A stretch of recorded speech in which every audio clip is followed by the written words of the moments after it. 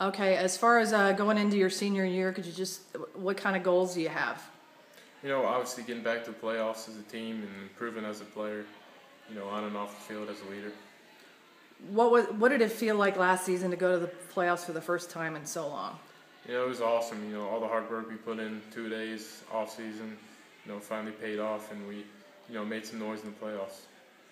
Do what was it like around town? Was that had you ever felt anything like that before in Hudson? No, yeah, it was definitely a feeling we hadn't felt, and it was an exciting time in Hudson football. How do you, um, as far as running back and linebacker, will you concentrate on one or the other more this year? Uh, I think you know whatever's best for Hudson football, and that's you know running back and linebacker. But once I get to college, it'll be linebacker. Is that have you had to change your mindset? Maybe just think more defense first.